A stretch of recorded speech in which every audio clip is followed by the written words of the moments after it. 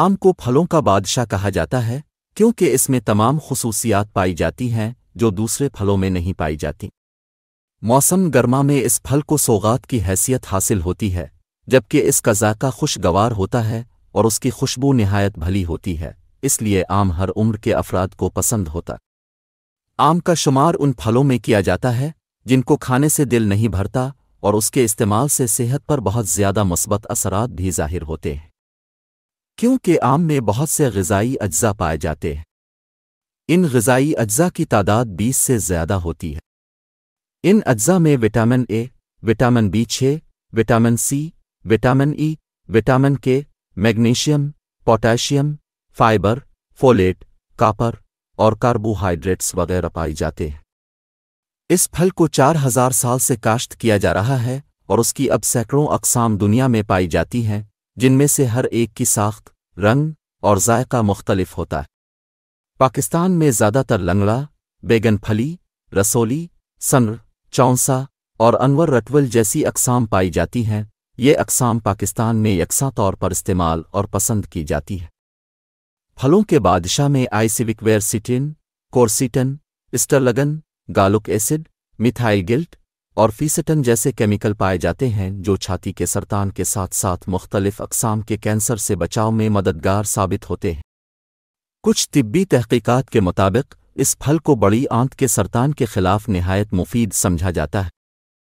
Calcium और vitamin के की कमी की वजह से हड्डियों की कमज़ोरी लाक हो सकती है, जिसकी वजह से आसानी के साथ उनके टूटने के खतरात बढ़ जाते हैं। विटामिन के सब्जियों और मुख्तलिफ़ फलों में वाफिर मकदार में पाया जाता है। इसके साथ साथ आम में भी विटामिन के पाया जाता है, जो जिस्म को विटामिन के फराहम करता है। जिस्म को विटामिन के फराहम होने से हड्डियाँ मज़बूत होती हैं और उनको कैल्शियम जज्ब करने में मुश्किलात का सामना नहीं करना पड़ता।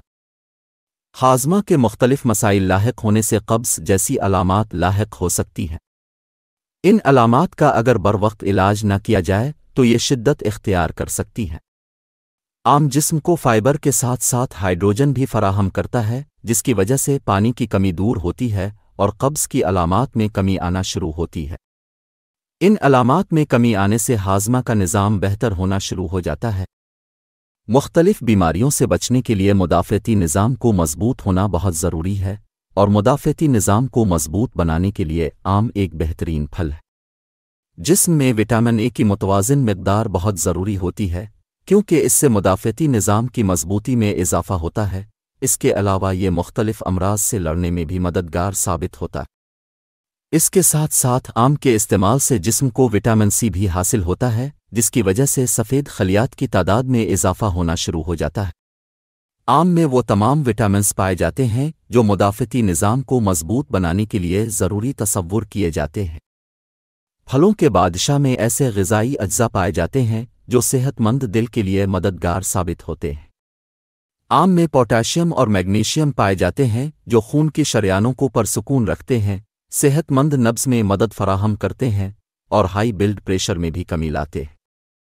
इसके अलावा आम में एक मुनफरद एंटीऑक्सीडेंट मीनगी फरीन भी पाया जाता है, जो दिल के खलियात को तकसीदी तनाव और वरम में से बचाने में अहम किरदार अदा करता है। इसके साथ साथ ये फल ट्राइग्लिसराइड और कोलेस्ट्रोल की सतह में कमी लाने में भी मदद फराहम कर सकता है और फैटी एसिड की सतह भी मुआजन रख सकता है। आमों में विटामिन सी वाफिर मकदार में पाया जाता है, जो बालों और जनलत की सेहत को बेहतर बनाने के लिए बहुत मुफीद विटामिन समझा जाता है। विटामिन सी एक प्रोटीन बनाने के लिए भी बहुत ज़रूरी होता है, जो जनलद और बालों को उनकी साख्त फराहम करता है और सीबम को बनाने में भी मदद फराहम करता है, जो सर को नमी फराहम करके बालों को सेहतमंद रखता इसके साथ साथ आम में पाए जाने वाले दीगर अज्जा जिल्द को सूरज की शुआहे से भी महफूज रखते हैं। इसके अलावा आम में मौजूद पोलीफिनोल्स एंटीऑक्सीडेंट्स का काम करते हैं और बालों की जड़ों को तकसीदी तनाव से बचाते हैं। आयरन की कमी की वजह से बहुत से अफराद को अनीमिया की अलामात का सामना करना पड़ता है। आम में चूँकि आयरन की काफ़ी मकदार पाई जाती है, जो अनीमिया के मरीजों के लिए एक बेहतरीन ऑप्शन है। हर रोज़ एक आम खाने से जिस्म में खून के सुर्ख खलियात की तादाद में इजाफा होता है और अनीमिया की अलामत में कमी आती है। दिमागी सलाहियत को बढ़ाने में भी आम बहुत अहम किरदार अदा करता है। आम में काफ़ी मकदार में ऐसे विटामिन पाए जाते हैं, जो दिमागी की बेहतरीन नशोनुमा में मुफीद समझे जाते हैं।